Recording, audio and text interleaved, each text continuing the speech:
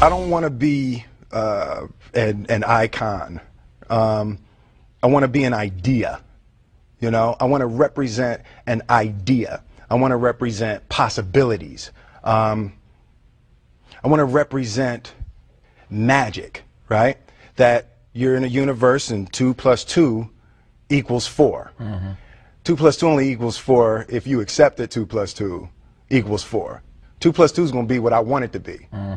You know, and there's a, there's a like there's a there's a, a redemptive power that making a choice has.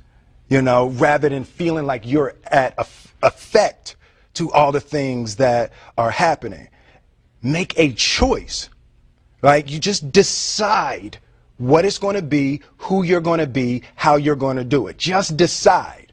And then from that point, the universe is going to get out your way. It's like it's water. It wants to it wants to move and go around stuff, you know. So for for me, I want to represent possibilities. I want to represent the idea that you really can make what you want. One of my favorite books is the the Alchemist, uh, Paulo Coelho, and that's just I just believe that. I, I believe that I can create whatever I want to create. If I can put put my head on it right, study it, learn the patterns, and you know, I just I it's it's hard to put into words some real metaphysical, esoteric nonsense. But I feel very strongly that we are who we choose to be.